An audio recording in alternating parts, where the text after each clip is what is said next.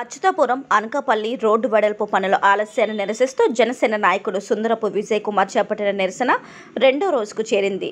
సజ్జు పరిశ్రమలకు వెళ్ళే వాహనాలు కార్మికుల ప్రమాదాలతోనే నిత్యం రద్దీ కారణంగా ప్రమాదం జరగని రోజంటూ లేదని సుందరపు అన్నారు. స్థానిక శాసనసభ్యుడు సంబంధిత అధికారులు దిగివచ్చి సమాధానం చెప్పేంత వరకు బైఠాయింపు కొనసాగుతుందని సుందరపు అన్నారు. స్థానిక వైకాపా శాసనసభ్యుడు కన్నబాబు రాజుకు భూ కబ్జాలకు టైం ఉంటుంది కానీ ప్రజలకు అవసరమైన రోడ్డు వేయించడానికి టైం లేదా అంటూ విమర్శించారు. ప్రమాదాల బారి నుండి జనం చనిపోతున్నా అధికారులకు చలనం లేదని దుయ్యబట్టారు. మండుటెండలో సుందరపు చేస్తున్న నిరసన కార్యక్రమానికి మద్దతుగా స్థానిక యువకులు బైఠాయింపు కార్యక్రమంలో పాల్గొన్నారు. రెండవ రోజు దీక్షకు మద్దతుగా బీజేపీ నాయకులు పాల్గొని సంఘీభావం తెలిపారు.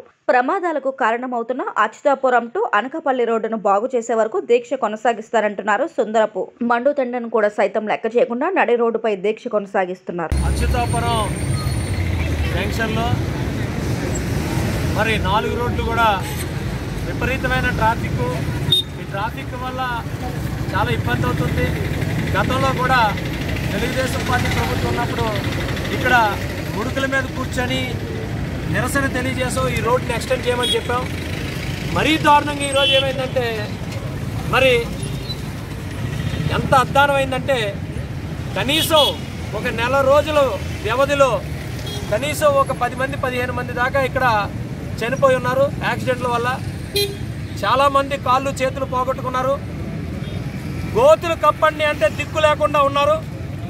ఇక్కడ ఎలమంచిల నియోజకవర్గంలో ఎమ్మెల్యే ఆయనకి ఆయన క్వారీలు కానీ భూ కబ్జాలు కానీ వాటికి టైం ఉంది. ఏళ్ళ నుంచి తప్పించుకోవడానికి ఇలాంటి వాటికి మాత్రమే ఆయనకి టైం ఉంది కానీ ప్రజల సమస్యల మీద ఎక్కడ కూడా టైం లేదు. ఈరోజు ఈ ఏదైతే రోడ్లకు మరామతులు చేసి రోడ్లు ఎలాగ వేయలేరు వేయరు రోడ్లు ఎలాగ విస్తరించరు వీళ్ళ దగ్గర ఈ ప్రభుత్వం దగ్గర ఎక్స్పెక్ట్ చేయడం కూడా చాలా తప్పు.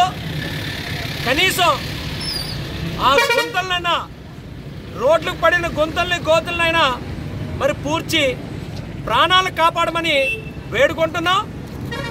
మీరు గోతులు పూడ్చినంత వరకు జనసేన పార్టీ నుంచి ఇక్కడ మేము కూర్చున్నా ప్రజల కోసం. ఎక్కడికి వెళ్ళేది లేదు. ఈ రోజైనా రేపైనా వంద రోజులైనా రెండు వందల రోజులైనా ఇక్కడ కూర్చుంటారు.